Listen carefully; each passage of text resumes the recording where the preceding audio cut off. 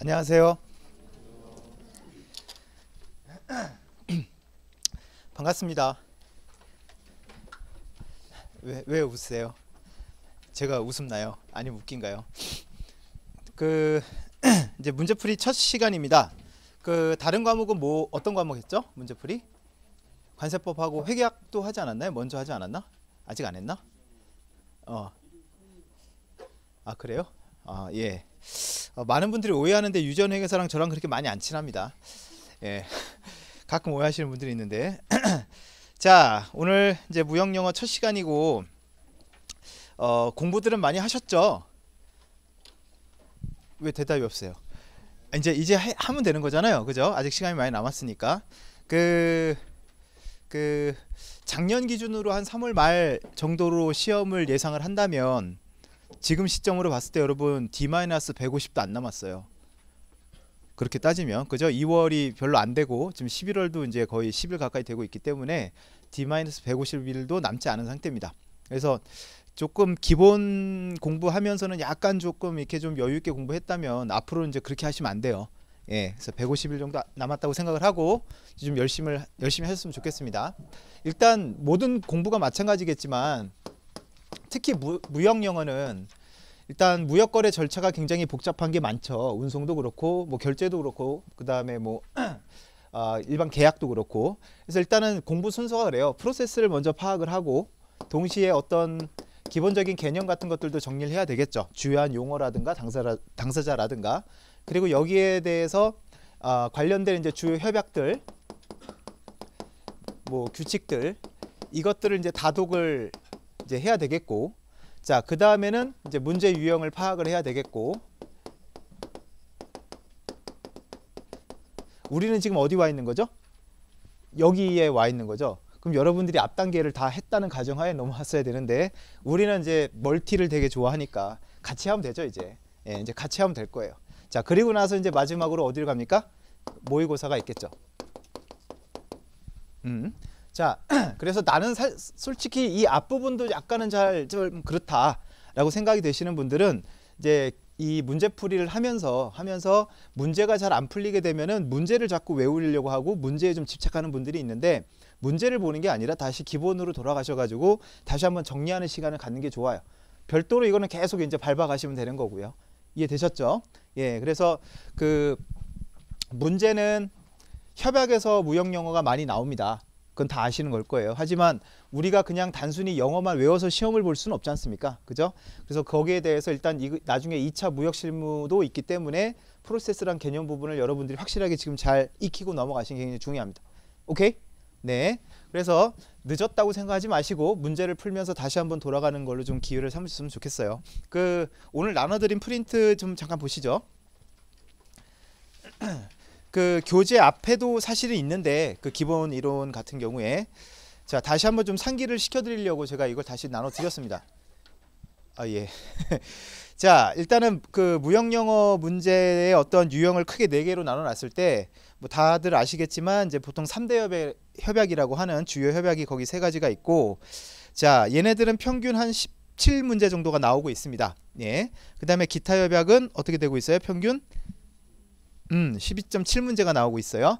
그런데 이제 올해 문제를 보면 어떻습니까? 올해 17년도를 보면은 기타 협약이 거의 처음인 것 같죠? 3대 협약보다 더 많이 나온 사례가. 예. 그래서 어, 어떤 분들은 그럼 기타 협약부터 열심히 해야 되지 않나요? 라고 생각을 하는데 우리가 2권을 봐서 아시겠지만 3대 협약을 제외한 나머지 부분은 범위가 너무 많지 않나요? 예, 그렇기 때문에 좀 효율성이 많이 떨어지고 그리고 여러분들한테 꼭 말씀을 드리고 싶은 게 뭐냐면 어, 이런 말 하긴 좀 그렇지만 관세사 시험에서 특히 무역 영어에서 경향이라는 거를 생각하시면 안 될 것 같아요. 왜냐하면 출제하러 들어가시는 교수님들의 편차라든가 전공이라든가 이런 거에 따라서 문제가 너무 많이 변하거든요. 이해되셨죠? 그러니까 작년에 기타 협약이 많이 나왔으니까 올해도 그럴 것이다. 예, 내년에 그럴 것이다라는 예측은 좀 안 하셨으면 좋겠습니다. 자, 그 다음에 좀 더 말씀드리면 실무 문제가 작년 재작년에 좀 많이 떨어졌죠. 많이 안 나오고 있죠. 어떤 기본적인 용어를 묻는다든가 뭐 당사자를 묻는다든가 이런 문제들인데 자, 그러니까 이런 걸 좀 조심하셔야 돼요. 작년 재작년 세 문제밖에 안 나왔으니까 내년에는 안 나오겠지. 예, 근데 한번 12년도 13년도를 한번 보실래요? 12년도에 네 문제 나왔죠. 실무 문제가. 어, 이거 별로 안 나오네 했는데 갑자기 13년 뒤에 어떻게 돼요? 어, 열 문제가 나왔어요. 협약이 확 줄고. 그러니까 이런 식으로 이게 널뛰기가 있기 때문에 절대 예측하지 말고 그냥 기분에 충실한 공부를 하시는 말씀 좀 드리고 싶고 어, 영작이랑 독해 문제는 사실 계속 비중이 떨어져 있는 건 맞죠. 예, 좀 떨어져 가고 있긴 합니다. 그래서 영어를 잘 못하는 분들은 참 다행인 거죠. 저를 포함해서. 네. 자, 그, 여러분 장, 올해 1차 시험을 본 분들은 되게 좀 무형 영어 어려웠다는 얘기를 많이 하세요. 들어보셨어요? 올해 좀 어려웠다. 기타 협약에서 많이 나왔다. 관심 없어요? 네. 자, 보시면 차이가 딱 보이실 거예요. 16년, 17년 차이가 뭐가 있습니까? 3대 협약은 똑같고 그죠? 16년도 영작 독해 문제 두 개가 없어지면서 그 두 문제가 어디로 간 거예요? 어, 기타 협약 적으로 갔죠. 사실 두 문제 차이거든요. 제가 모의고사 문제를 낼 때, 모의고사 문제를 낼 때, 어, 여기 있는 비중에 맞게끔 문제를 이제 할당을 해서 문제를 내거든요. 그러다가 이제 어느 날 한 번 횟수는, 어, 회차에서는 그 주요 협약 두 문제를 줄이고 기타 협약 두 문제를 늘려요. 그럼 학생들이 막 난리가 나요. 폭동 직전이에요. 어, 문제 그따, 그따구래요. 그따위. 그따위로 내는 게 어디냐고 막 난리를 쳐요. 너무 어렵대요. 아닌데 아닌데 그냥 기타 협약 두 개 조금 늘린 것 뿐인데라고 이제 저는 이제 속으로 생각했는데 이제 학생들이 채점을 해볼 거 아닙니까? 그러면은 정작 점수는 어때요 차이가? 어 거의 안 나요 비슷해요. 그러니까 학생들이 어 이상하다라고 얘기를 하는 거예요. 그러니까 그게 뭐라고 얘기를 해야 되냐면 어려운 문제가 이렇게 딱 나오게 되면 당황을 하게 되고 그게 각인이 돼서 전체적인 시험 난이도를 그냥 그걸로 규정을 해버리는 게 되는데 막상 시험을 보면 점수는 비슷해요. 예, 여러분 그래서 제가 이제 말씀을 드릴 거는 뭐 문제가 들쭉날쭉하고 있지만 변하지 않는 거는 뭐다? 3대 협약의 그죠? 주요 협약의 비중은 변하지 않는다. 그럼 우리는 일단 무엇부터 잡고 가면 된다? 예, 3대 협약이 거기 보면 한 17, 18문제가 나오면 그 중에 한 15문제 이상씩만 확보를 하면 그 다음에는 크게 문제가 없다라는 거죠. 예, 제가 그 농담처럼 얘기했지만 자, 3대 협약이 17문제가 나와요. 이거 기본 시간에 우리 그때 합의 봤었잖아요. 몇 문제 맞히기로? 어, 얘는 한 15문제 맞추시면 되고. 자, 기타는 기타는 지금 한 13문제 나오는데 몇 문제 마... 아이고. 몇 문제 맞추기로 했죠? 어? 10문제? 말도 안 되는 예. 반타작만 하면 돼. 반타작만. 얘는 반타작이에요, 무조건. 예. 자, 그다음에 실무 문제는 지금 전체 평균을 보면 한 6.7문제 정도인데 뭐 한 7문제로 잡고 자, 얘도 아 얘는 좀 많이 맞춰야죠. 기본적인 단어나 용어 맞추는 문제니까. 얘도 한 다섯 문제 맞히고 그 다음에 영작 독해도 한 세 문제라고 친다면 그죠? 이번 생은 이번 삶은 좀 틀렸고 다음 생에 태어난 미국에서 태어나고 싶다는 분들도 있을 텐데 아무튼 얘도 그냥 반타작만 해도 돼요. 한 문제만 맞춰. 그럼 대충 몇 문제입니까? 스물 일곱 문제 맞추는 거죠. 그럼 점수가 아마 한 70점 원전이 나올 거예요. 그럼 된 거예요, 무형 영어는. 이해됐죠? 자, 그래서 거기 밑에 나와 있는 설명을 좀 잘 보세요. 되게 중요해. 그 당연한 얘기지만 안정적인 점수를 확보를 하려면 우리는 뭘 더 공부를 많이 해야 돼요?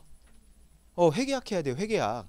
무형 영어 때문에 떨어졌다는 사람은 없어요. 회계학이 대부분의 꽈락의 50% 이상 차지하기 때문에 무형 영어는 효율적으로 70점 정도 점수만 딱 나오면 된 거고 그다음에 회계학에 집중을 해야 돼요, 여러분.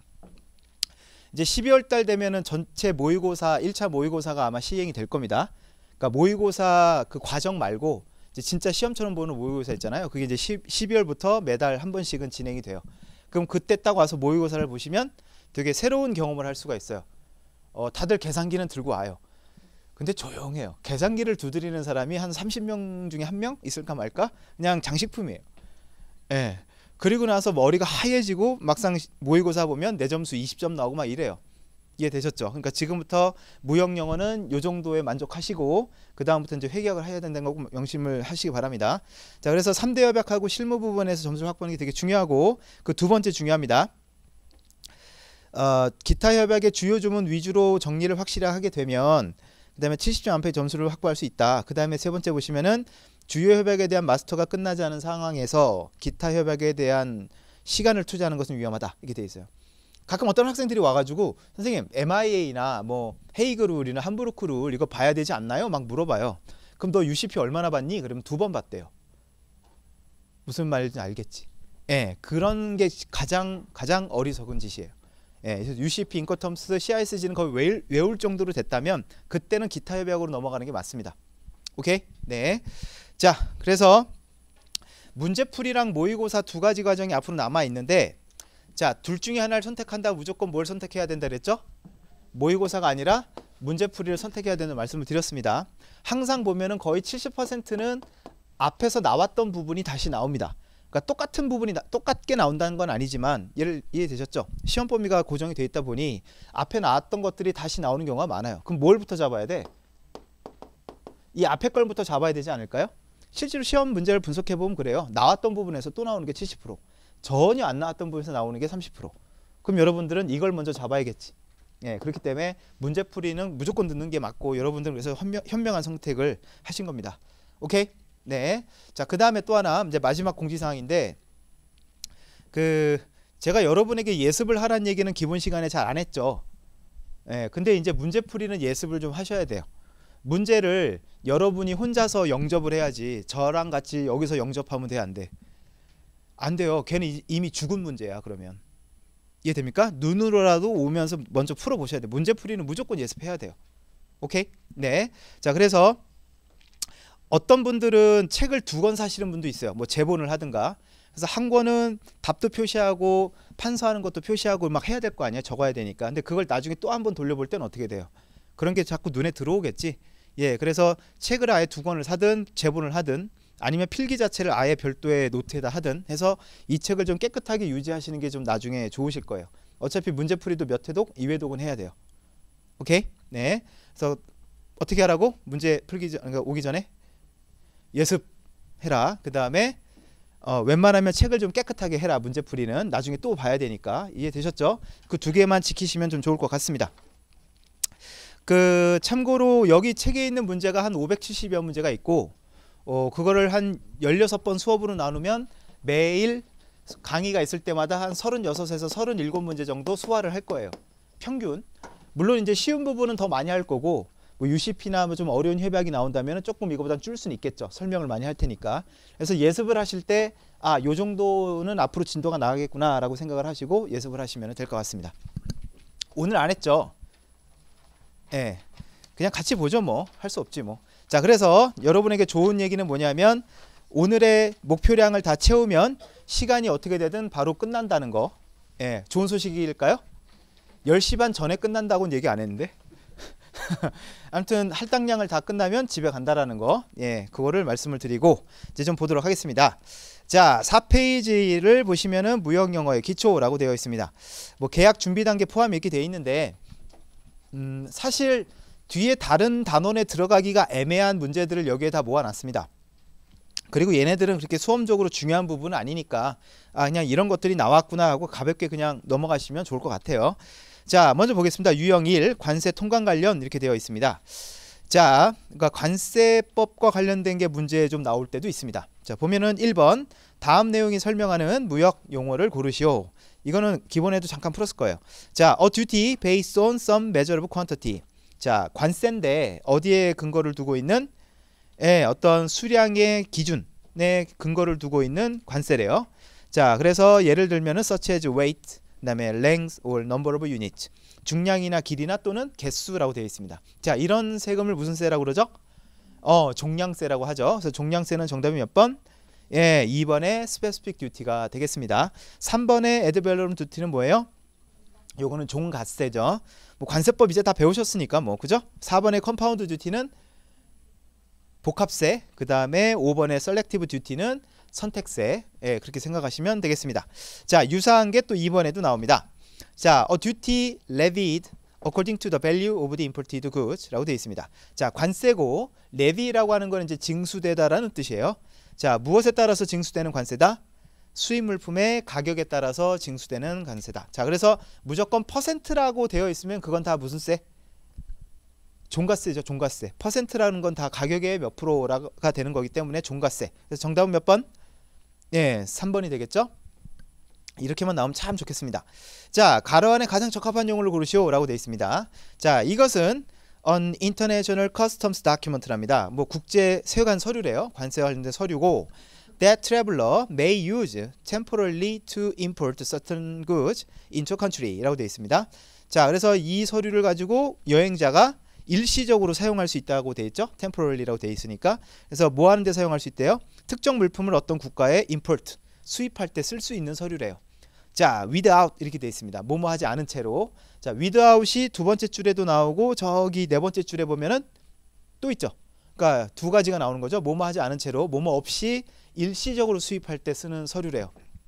막 관세법 돌아가고 있어 지금 막 아니에요. 네. 자 보겠습니다. 뭐가 없이 할 수 있냐면 having to engage in the customs formalities. 자, 뭐 세관 통관 절차를 밟지 않고 예, 밟지 않은 채로 일시 수입할 수 있대요. 자, 그 세관 통관 절차라는 건 usually required for the importation of goods. 자, 물품의 수입을 위해서 통상적으로 요구가 되는 통관 절차를 밟지 않고 그냥 수입할 수 있대요.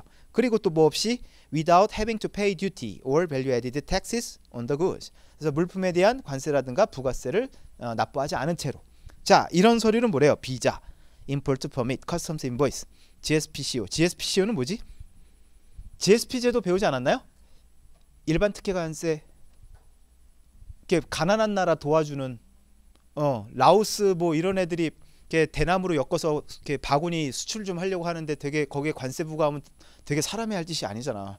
그죠? 그런 걸 뭐라 GSP라고 그러잖아요. 일반 특혜 관세. 자, 일반 특혜 관세는 그 국가의 원산지가 더 명확하게 요구되기 때문에 왜냐하면 세금이 없거든요. 그런 경우 별도의 또 원산지 증명서를 써요. CU가 뭐예요? 어 원산지 증명서잖아요. Certificate of Origin. 그래서 이건 이제 GSP용 원산지 증명서를 말하고 5번은 어 이거는 불어인데 마지막에 T에 그게 없죠. 안 읽는 다음에 불어는 자음을 안 읽는 다음에 그래서 얘를 아따 까르네라고 해요. 아따. 예. 자 정답은 몇 번입니까? 5번입니까? 배우셨습니까 관세법에서? 안 배웠나요? 예. 이런 제도가 있어요. 자, 그러니까 ATA가 아따가 아따, 으따 이거 같은데. 예. 아따라고 하는 게 협약이에요, 협약. 무슨 협약이냐면 지금 나온 내용 그대로예요. 여행자의 일시 수입을 위한 예, 통관과 관련된 제도고 이 ATA라는 기구에서 대신 보증을 서주는 거라고 생각하시면 돼요. 이 사람들이 보증을 서주면 보증서를 내면 예, 관세 납부 대신에 그러니까 여러분 관, 관세 납부의 방법에 봐도 보증이라는 게 있잖아요. 똑같은 제도라고 보시면 돼요. 그래서 ATA라는 협, 그 기구에서 보증을 서주면 예, 일시적으로 이제 수입할 수가 있어요. 이거를 혜택을 받는 사람들이 대부분 누굴까? 기자들이에요. 기자들. 기자들 막 비싼 장비나 카메라나 이런 거 들고 막 이렇게 왔다 갔다 많이 할 거 아니에요. 근데 그 사람들이 그때 그때마다 무슨 뭐 관세를 내든 아니면 뭐뭐 뭐 이렇게 제대로 하려하는 게 힘드니까 그런 사람들 위한 제도가 아따 까르네라고 합니다. 그래서 이름은 좀 알아놓으시기 바랍니다. 자 넘어갑니다. 그 다음에 4번 되게 쉽네요. 2002년은 정말 행복한 행복했던 예, 시험이었을 것 같습니다. 우리 다 행복했잖아요. 2002년도에 그지? 예. 2002년 월드컵에서 지금까지 산 만큼 살면 저는 환갑이 되고 여러분은 예, 마흔이 훨씬 넘겠죠. 그만큼 오래됐어요. 생각해 보면 15년 전이니까. 자, 어, Return of Import Duty 수입관세의 예, 아, return, 예, 돌려줌, 예, 반환이라고 해야 되겠죠. 답을 얘기해 주면 안 되니까. 예, by the customs authorities to an exporter. 수출업자한테 세관 당국이 수입 물품의 관세를 돌려주는 거랍니다. 어떻게 됐을 때 when the goods are re-exported in one form or another. 자, 그 물품이 재수출이 됐을 때 one form이라고 하는 건 동일한 형태를 말하는 거고 수입된 상태 그대로 재수출되는 경우 이제 another라고 하는 건 이제 걔가 가공이 돼서 다시 나갈 수도 있겠죠. 자, 이래서 이런 걸 뭐라고 한다? 어, 관세 환급이고 환급은 영어로 뭐예요? 어, drawback이죠. drawback. 우리가 보통 외국 여행 가면은 현지에서 뭐 소비세 환급 받는 거 공항에 가면 있는 게 tax refund죠. 관세는 refund라고 표현을 안 합니다. 대부분이 drawback이고 어떤 국가에 따라서는 restore 내지는 어, 뭐 return 예, 까지는 쓰는 걸 여기 나온 것처럼 이 두 가지는 쓰는데 refund라는 건 쓰지 않아요. 예. 그러니까 전 세계에서 관세 환급이라고 하는 단어를 drawback으로 어, 통일해서 써주면 좋겠는데 뭐 미국, 영국, 캐나다, 그 다음에 호주, 뉴질랜드 영어를 쓴 나라 좀 있잖아요. 나라마다 표현이 조금씩 달라요 단어가. 예, 그래서 요거 좀 알아놓으셨으면 좋겠어요. drawback만 알아놨다가 나중에 예, drawback이 안 보였을 때 당황하지 마시고 return이나 restore 같은 걸 찾아보시면 될 겁니다. 자, 그 다음에 5번 이제 점점 가, 가관입니다. 과세 대상 물품의 실제 거래 가격을 산정하기 어려운 경우. 이게 몇 방법이죠? 실제 거래 가격을 기초로 한 과세 가격 결정 방법. 1방법. 예, 1방법이 어려운 경우 WTO Valuation Agreement 관세 평가 협정이에요. WTO 관세 평가 협정에 규정하고 있는 관세 평가 기준의 적용에 있어서 가장 나중에 적용되는 방식은 크, 이게 진짜 관세법이다. 그죠? 자, 2방법이 뭡니까? 2방법. 동종 동질 물품 기본이죠, 이거는. 3방법은 유사 물품, 4방법은 국내 거래 가격이라고 불러요? 국내 판매 가격 아니에요? 정확하게 해야지. 국내 판매 가격을 기초로 한 과세가 결정 방법. 5방법은 산정 가격. 6방법은 합리적인 방법. 관세법은 이렇게 막 술술술 나와야 되지 않아요? 관세법마저 이러면 어떻게 해? 아, 우리는 찍는 공부지 참 쓰는 공부가 아니니까. 예. 아, 괜찮습니다. 자, 1번 보겠습니다. 영어로는 원문은 어떻게 됐나 좀 봅시다. The transaction value 거래 가격이죠. of identical goods. 얘가 동종동질인가 유사인가? 헷갈릴 시점에 2번을 보니까 구세주가 나타났네. 그죠? transaction value of similar goods예요. 그러면은 이제 고민 안 해도 되겠다. 1번이 동종동질 같고 왠지 느낌이. 그 다음 2번은 뭐예요? 유사 물품 같죠. 자, 그 다음에 3번 the fallback method. 어, 이건 모르겠다. fallback이 무슨 뜻인지 아시는 분 혹시? fallback. 예, 네, 패스. 자, computed value method라고 되어 있습니다. 얘는 뭘까요? 컴퓨 컴퓨 원래 컴퓨시 무슨 뜻이야? 컴퓨터의 컴퓨시 계산하고 산정하고 뭐 이런 거 아니에요? 어 그죠 그러면 우리가 얘기했던 것 중에 몇 방법이 있는 거지? 5방법이 산정 가격 아니었어요? 어 이게 산정 가격이에요 원문은 이거예요 근데 그걸 우리가 이제 약간 의역을 해가지고 산정 가격이라고 한 거고 자 5번 deductive value method 예 이건 진짜 우리랑 완전 다르다 deduct가 무슨 뜻이에요? 이거 보험에서 배웠죠 소손해 면책률 할 때 excess는 공제하지 않으니까 non deductible이고 franchise는 deductible에서 공제하다는 의미 배웠어요. 자, 공제 방식이래. 공제하는 게 뭐가 있지? 과세 가격은 대부분 CIF 가격으로 만들려고 다 더하는 방식인데 얘는 빼요. 빼가지고 수입 가격을 딱 알아내는 방법이지. 그게 바로 뭐야? 어, 4방법의 국내 판매 가격이죠. 예, 그러니까 원래 고, 원문은 이제 deductive value인데 이걸 이제 우리가 법에 들여오면서 이제 국내 판매 가격으로 좀 의역을 했다 생각하시면 되겠죠. 자, 그러면은 2, 3, 4, 5가 나왔으니까 3번은 뭘까요? 어, 이게 이제 6방법이에요. 그 폴백이 뭐냐면 만일에 대비한 유사시에 대비한 이런 뜻이 있어요. 그러니까 합리적인 방법이라는 게 여러분 뭐로 알고 있어요? 6방법이라는 게그 6방법이 독립된 어떤 그 방법이 있는 게 아니잖아요. 앞에 있는 것들을 조금 유도리 있게 예, 적용하자는 취지잖아요. 그러니까 폴백이 바로 예, 바로 그런 뜻이에요. 합리적인 방법. 그래서 정답은 몇 번? 3번. 예, 인상 찡그리지 마요. 그냥 이런 게 있었다고 생각하면 돼. 이거 또 안 내겠지. 나오겠어요? 나올까? 수험생은 왠지 다 소심해지잖아요. 그죠? 근데 한번 보면 이런 건 안 잊어먹으니까요, 여러분. 자, 그 다음에 또, 또 나옵니다. 누가 문제를 냈을까? 2004년도에. 예, 과세 가격 결정 방법이 나오는가 하면 다음 중 가장 우선적으로 적용되어야 하는 관세는 관세율 적용 우선순위 우리한텐 껌이잖아요. 가장 최우선 순위가 뭐예요? 아, 여러분들 그 앞 앞 글자 따서 외우는 거 안 했나? 어, 어떻게 외웠어요? 덤상 이렇게 외웠어? 저는 외울 때 덤복인농상 편국 조개알 일잠기 이렇게 외웠는데 오 대박. 17년이 지났는데 벌써 기억하고 있어요. 예 주입식 교육이 이게 좋은 것 같아. 덤복인농상 편국 조개할 일잠기. 예 따라해봐. 예 덤복인농상. 자 우선적으로 해야 될 거. 자 보겠습니다. Temporary tariff라고 되어 있습니다 뭐 일시 관세 뭐 임시 관세 이런 뜻이죠. 직역을 하면 우린 그러니까 이건 일본에는 그런 게 있어요. 임시 임시 관세, 일시 관세라는 게 있는데 이건 우리로 치면 할당 관세 정도로 생각하시면 될 것 같아요. 자, 그다음에 beneficial duty 이건 알겠다. 무슨 관세? 어, 편익 관세겠죠. 자, 그다음에 3번 countervailing duty. 얘가 상계 관세예요. 알아놓으세요. 주요한 관세 이름을 알아놓으셔야 돼요. 상계 관세 되게 중요하잖아요. 자, 그 다음에 컨벤셔널 테리프가 협정관세예요. 자, 무엇에 관한 협정 관세예요?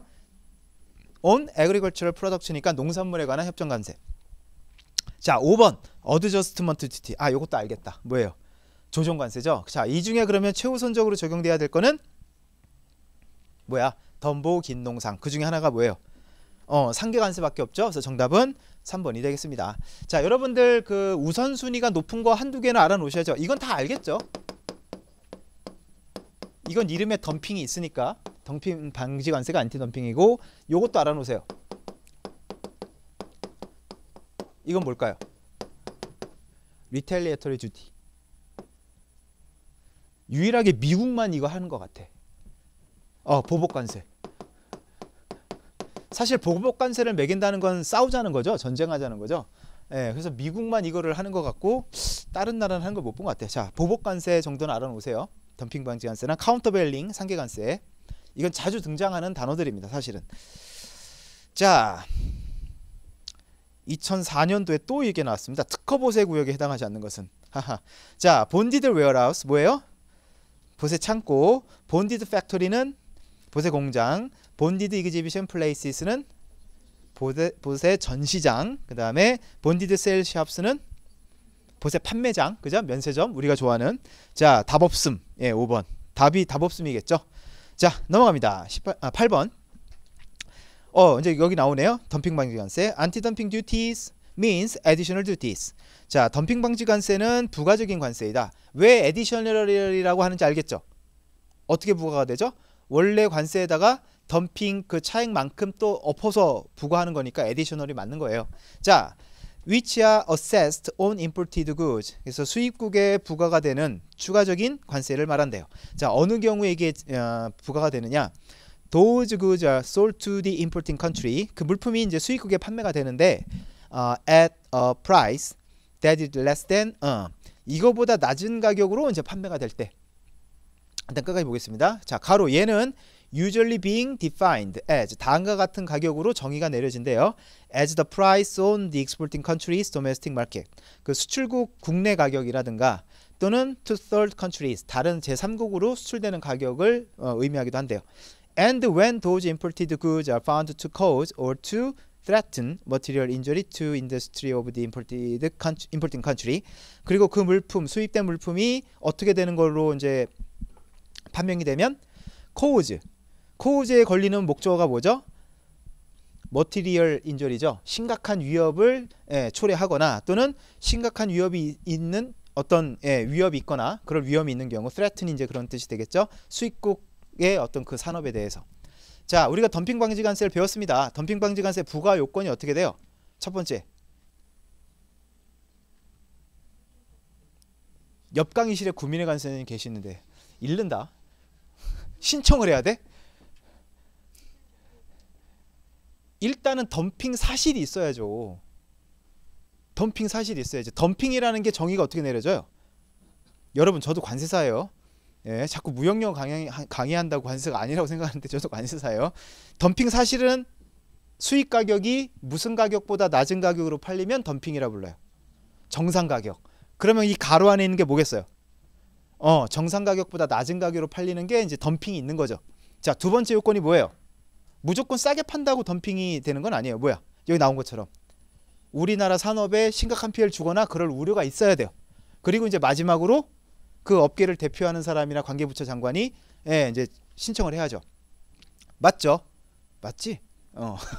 자, 아무튼 그렇습니다. 그러면 우리는 여기서 뭘 찾아봐야 돼요? 정상 가격. 아, 근데 영어로 모르겠다. 어떡하지? 다 real value. 1번 보시면 real value, fair value, reasonable value, standard value, net value. 자, 이럴 땐 그냥 볼펜 굴려 보는 게 낫겠지. 에라씨. 예. real은 아닌 것 같고, reasonable도 아닌 것 같고. 정답은 뭘까요? 어, 정상 가격이 페어 밸류예요. fair value. 예. 자, 근데 거기 옆에다 써 놓으세요. 호주 같은 나라는 normal value라고도 불러요. 정상 가격을. 그 제가 기본 시간에도 잠깐 말씀을 드렸지만 우리가 호주 그러면 캥거루의 나라 뭐 대충 이런 것만 생각하는데 이 관세 행정, 관세 기술 쪽에 있어서는 호주가 굉장히 선진국이에요. 예, 실제로 그래요. 그래서 호주 쪽 이런 것도 좀 알아놓으시면 좋을 것 같아요. 자, normal value, fair value 무슨 가격? 정상 가격. 자, 이제 넘어갑니다. 어, 2000년 초반에 이 기, 국제기구 관련된 문제가 좀 나왔었습니다. 근데 이것도 너무 신경 쓰실 필요 없고요. 그냥 이런 게 있었구나. 그냥 생각하고 넘어가시면 될 것 같아요. 자, 그 국제기구 1번에 보시면은 우루과이 라운드죠, UR. 예, 요거 관련해서 다음 용어 중 잘못된 것은 이렇게 나와 있습니다. 그 역사를 간단하게 좀 설명을 드리면 자, 원래는 뭐예요? 가트 체제만 있었죠. 2차 세계 대전 이후에. 그죠? 실질적인 기구가 없이 그냥 협정만 있었고 이 자유무역 관련 협정에 대한 어떤 시행이라든가 감시 기구는 전혀 없었어요. 그러다가 지금 나오는 뭐 우루과이 라운드를 통해 가지고 자, 뭐가 이제 출범을 한다? WTO가 출범을 하게 됐다. 이게 아마 95년일 거예요. 자, 이렇게 됨으로써 이제 WTO의 의미가 뭐라고요? 실질적인 기구가 생긴 거예요. 자유무역과 관련해서 시장 개방을 위해서 나라들로부터 각 회원국들로부터 시장 개방 스케줄을 다 보고받고 실제로 하는지 다 보고 예, 그런 실체가 이제 생긴 거지. 자, 그러다가 이제 이게 좀 오래됐으니까 조맘때 2000년 초반쯤에 도화가 아, 도화 개발 아젠다라고 혹시 들어보셨나요? DDA 협상? 예. 자, 요걸 한다고 이제 도화에 모였단 말이에요. 근데 기본적으로 WTO든 DDA든 여러 사람이 모인 협상을 무슨 간 협상이라고 그러지? 다자간 협상이라고 그러죠. 그러니까 이게 사람이 너무 많아. 그 각자 얘기가 다 다르고. 그러니까 이게 합의가 잘 돼요, 안 돼요? 안 되게 돼요. 그러니까 다자간 협상의 어떤 한계성이 온 거예요. 자, 그래서 우리는 다 필요 없고 이제 필요한 사람들하고만 자유무역 할래 라고 해서 이제 붐이 한 10년, 15년 동안 있었던 게 뭐예요? 어, FTA가 된 거죠. 예, 그렇게 역사가 온 거예요. 자, 그러다가 또 갑자기 또 뭐가 생겼어요? 요 지역에서는 요만큼 우리끼리 우리 편까지 이렇게 좀 하면 될 것 같은데 해서 조금 더 확장되는 게 흔히 말하는 TPP죠. 물론 지금 미국이 빠지면서 약간은 좀 기미 세긴 했지만 지금 이제 여기 와 있는 상태예요. 예. 우리 트럼프 할아버지 오셨다 갔는데 그죠? 예. 그래도 그냥 금방 휙 가버렸네요. 자, 그래서 이상한 소리 할 줄 알았는데 다행이에요. 그냥 좋은 말만 하고 가가지고 예. 자, 보겠습니다. 그래서 우루과이 협정과 관련된 다음 용어 중에서 잘못된 것을 골라라. 자, 1번 TPRB Trade Policy Review Body 무슨 뜻일까요? 무역 정책 검토 기구. 그러니까 WTO의 산하 기구예요. 무역 정책 검토 기구. 맞는 것 같아요. DSB Dispute Solving Bureau라고 되어 있습니다. 분쟁 해결국 기구? 예. 얘가 정답입니다. 틀렸습니다. DSB가 뭐냐면 Dispute Settlement Body예요. 분쟁 해결 기구. 위에 거랑 좀 호응이 돼야 되겠죠. 예, 그래서 WTO의 산하 기구는 보통 바디란 말을 많이 넣어요. 그래서 이거는 알아도 그만 몰라도 그만입니다. 여러분 그냥 그렇구나 하고 넘어가세요. 자, 그래서 지금 봤던 1번, 2번 TPRB나 DSB가 바로 가트와 WT의 가장 큰 차이라 보시면 됩니다. 실체가 생겼다 그랬잖아요. 그래서 무역 정책 혹시 불공정 무역을 하지 않는지 감시하는 기구가 TPRB고 이제 거래하는 국가끼리 분쟁이 생겨서 막 WTO 제소한다고 그러잖아요. 그렇게 제소가 되면은 이제 DSB에서 그걸 좀 맡아서 해결을 하는 거고 그런 기구라고 생각하시면 돼요. 자, TRIMS라고 되어 있습니다. Trade Related Investment Measures라고 되어 있습니다. 이거는 무역 관련 투자 조치에 관한 협정이에요. 그대로 직역하면 돼. 무역 관련 투자 조치 협정. 협정이라는 말은 없지만 자, 그다음에 MFN Most Favored, uh, Favored Nation 이건 다 아는 표현이죠. 무슨 뜻? 최혜국 대우. 그죠? 최혜국 대우. WTO 이건 당연히 아는 거니까 넘어가고. 자, 2번. WTO의 decision making process와 관련된 다음 서술 중 타당하지 않은 것은 decision making process는 의사결정 과정 정도로 해석하시면 될 거예요. 자, 1번. Most decision making in the WTO. WTO의 대부분의 의사결정은 follows GATT practice. GATT의 관행을 따른다. and is based on negotiation and consensus. 그리고 어디에 근거를 두고 있다? 교섭과 그다음에 합의를 근거를 두고 있다. 자, consensus 합의라는 건 is a GATT tradition. 예, GATT의 전통이에요. While not formally defined in the GATT 1947. GATT 1947에 공식적으로 규정되어 있진 않아도 이제 합의를 통한 것은 GATT의 어떤 전통이다. It gradually became the modus operandi. modus operandi가 절차란 뜻이에요. 그래서 그 기구, institution의 절차가 되었다. 점차적으로 관행상 쭉 해왔으니까. 자, 여기까지는 뭐 이상한 거 없죠. 자, 3번 보겠습니다. consensus, 합의라는 건 means, 그 다음 단어 뭐예요? 예, 삼음절의 강세가 있어요. unanimity, 맞나? 예, unanimity. 뭐예요? 만장일치란 뜻이에요. 만장일치. consensus는 만장일치를 의미한다. 어때요? 그건 좀 다른 것 같은데. 그죠? 예, 틀렸습니다. 3번이 틀렸습니다. 만장일치를 의미하는 건 아니에요. 합의라는 게. 이제 합의라는 게 뭐, 뭐냐 하는 건 뒤에 나와요. 자, 보면 consensus라는 건 signifies 때 대디아를 말한다, 의미한다. No country physically presented in the meeting of the council. 자, physically부터 council까지 가로를 쳐놓으시고 앞에 있는 country를 이렇게 수식한다고 표시해 놓으시면 돼요. 아 여기다 표시를 하게 되면 나중에 그래요 뭐 해석을 어떻게 하겠지. 자, 그 의회에 참석한 물리적으로 참석한 어떤 국가도 국가 중에 어떤 국가도 is decisively against a major issue. 그 주요 이슈에 대해서 단호하게 decisively 아니면 아주 강하게 반대하지 않는 것을 말한다. 무슨 말 이해됐죠? 나는 반댈세 이러면 이거는 뭐예요? 반대고 그죠? 반대고 반면에 속으로는 별로 찬성하지는 않지만 그냥 가만히 그냥 따라가면 그건 우리가 다 어떻게 됐다고 보는 거죠? 합의하는 거지. 어떤 회의든 어떤 모임이든 목소리 큰 사람들이 야야야 그 삼겹살 먹으러 가자 뭐 이러면 아 씨 나는 딴 거 먹고 싶은데 나는 부대찌개 먹고 싶은데 애들이 야야 삼겹살 먹으러 가자. 그러면은 나 안 가. 이럴 거예요? 친구 옆에서? 그렇진 않잖아요. 따라가잖아요 약간. 그런 게 바로 합의 제도란 얘기예요. 근데 이게 이제 무슨 문제가 있냐면 뒤에 나와요. Despite their effective uh, effective lack of uh, veto power. veto power가 무슨 뜻? 어, 거부권이란 뜻입니다.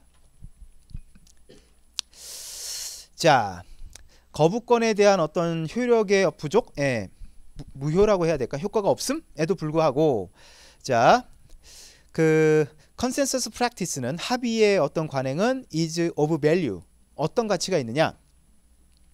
아, smaller countries as it enhances their negotiating leverage. 자, smaller country는 이제 아주 작은 약소국들이죠. 약소국들이에게 어떤 가치가 있다는 거죠. 왜냐하면 그 약소국들이 뭘 할 수 있기 때문에 그들의 어떤 교섭력, 영향력, negotiating leverage를 어, 강화시킬 수 있기 때문에 이 부분 이해되세요? 자, 어, 이거 녹화가 되고 있는데 그래도 일본은 공공의 적이니까 얘기 되겠지? 자, 일본이 일본이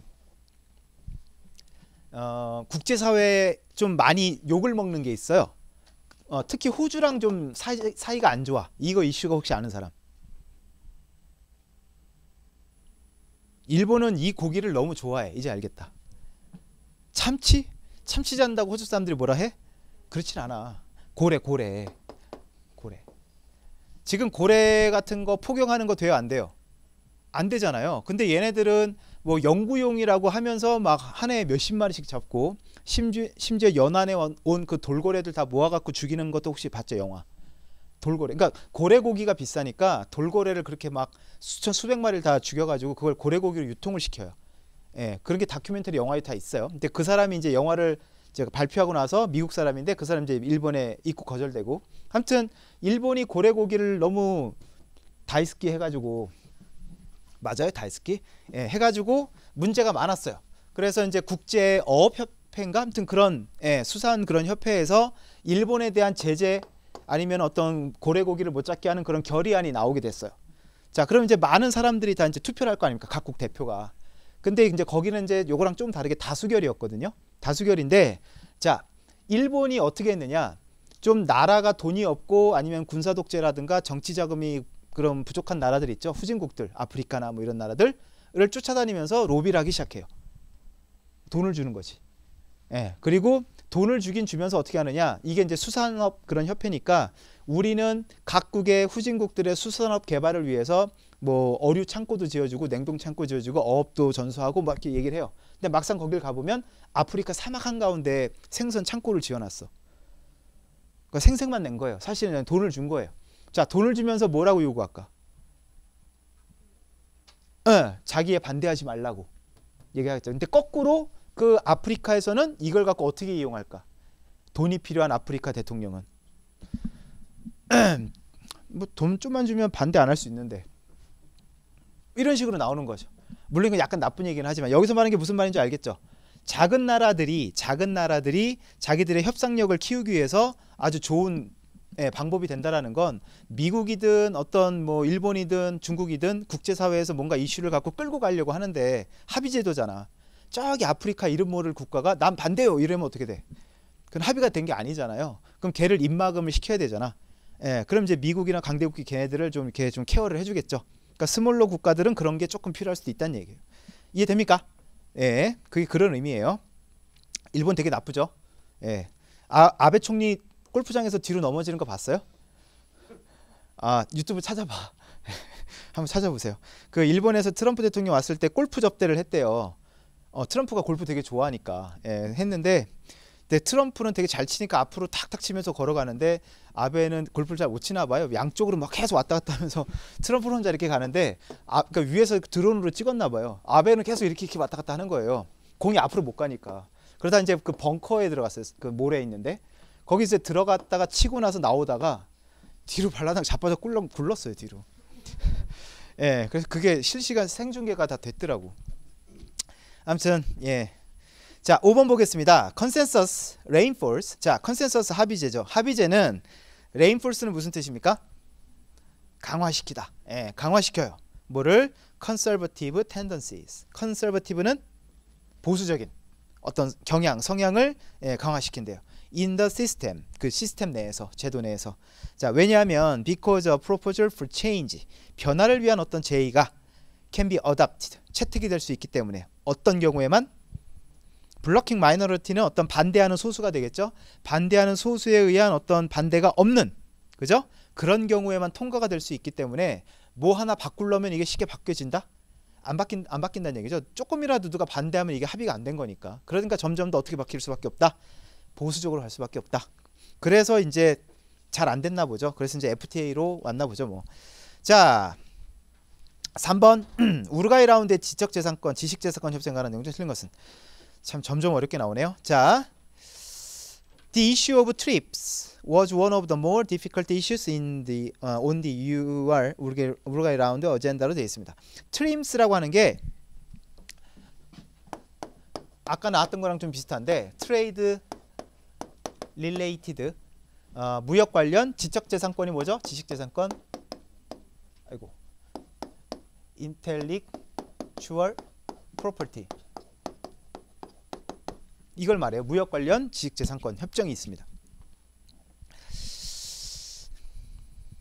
그러니까 예전에는 국제 기구에서 국제 협약에서 지식 재산권을 다루는 이제 그게 없었던 거예요. 그러다 이제 WTO에도 이제 지식 재산권 관련된 아젠다가 아주 중요한 이슈로 올라왔던 얘기예요. 자, 근데 되게 어려운 문제였다는 얘기입니다.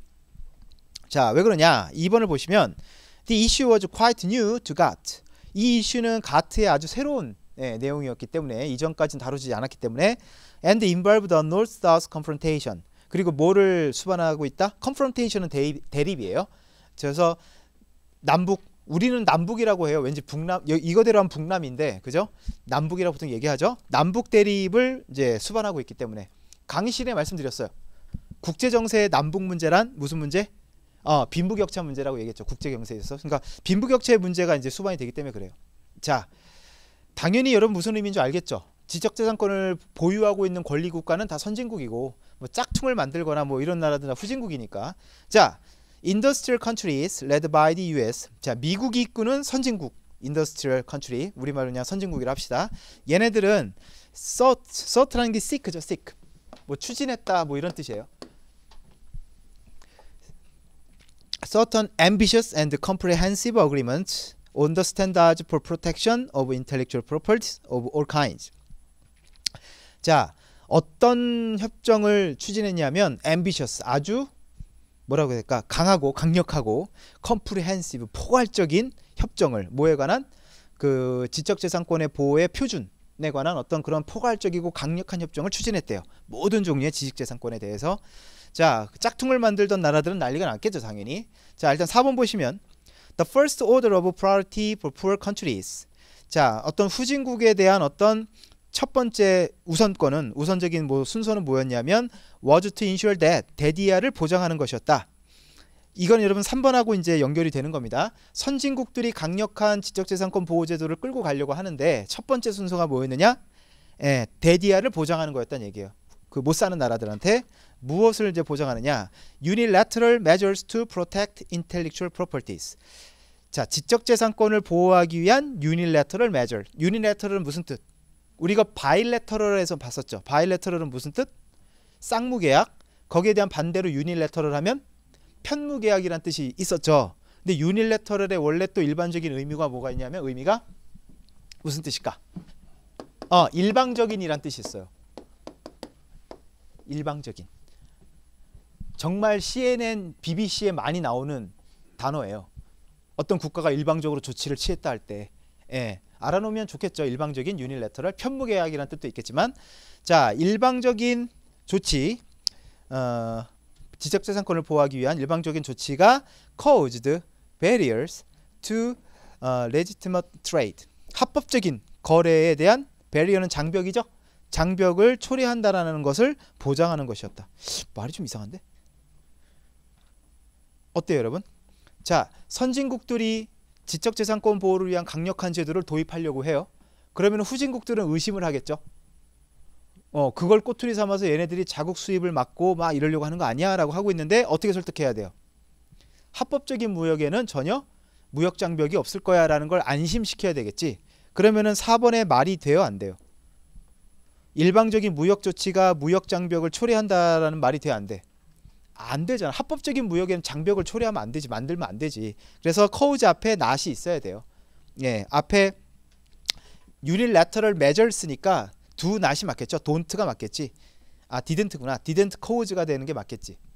합법적인 무역에는 무역 장벽을 만들어내지 않는다라는 걸 설득을 해야 될 문제가 남았으니까 이해됩니까? 네, 그렇게 하시면 될 것 같고 아 재미없다. 빨리 합시다. 5번 There was a general concern that 자 일반적인 우려가 있었습니다. Greater protection of intellectual property rights 자 지적재산권의 더 큰 보호는 would strengthen the monopoly power of multinational companies. multinational companies는 우리가 아는 다국적 기업의 어떤 힘을 강화시킨다는 우려가 있다. 모노폴리 파워가 어, 독점력이겠죠. 독점력, 시장 장악력 뭐 이런 것들을 더 강화시킬 수 있다라는 우려가 있었다. 당연히 있지. 예. 일단 그래서 정답은 몇 번? 예, 4번이 되겠습니다. 조금 쉬었다가 계속 보도록 하겠습니다.